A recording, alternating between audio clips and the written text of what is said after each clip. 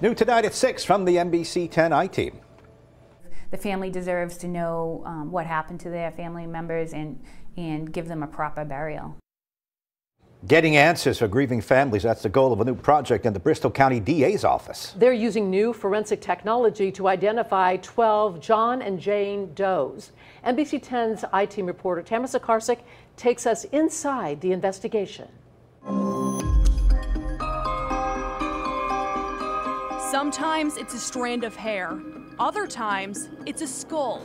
That leads you to family, that leads you to acquaintances. With forensic technology, a single sample of DNA can crack cold cases wide open, giving unidentified persons their identities back.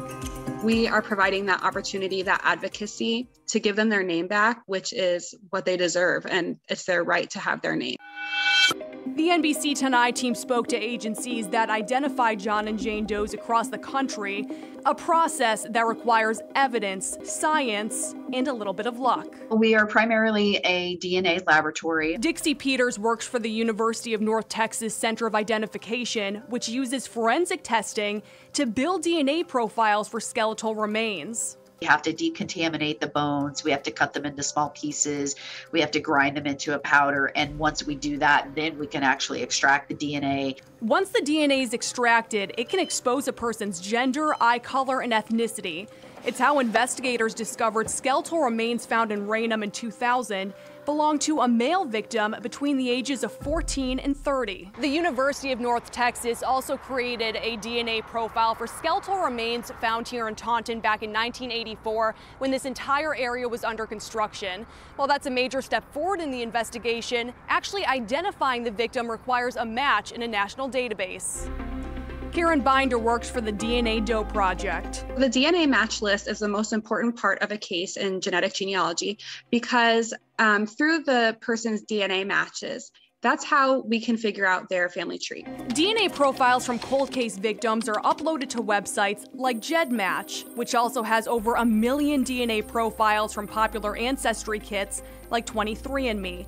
If there's a match, genealogists can build the family tree backward to common ancestors. It just goes to show that the more people that are uploaded into these databases, GEDmatch and Family Tree DNA, the better chance that we have to solve each case. At least five Bristol County cold cases are now in that system, bringing investigators one step closer to piecing together the puzzles. We've solved cases that are 50 years old before. 50 years is a long time to wait for an answer to what happened to your loved one.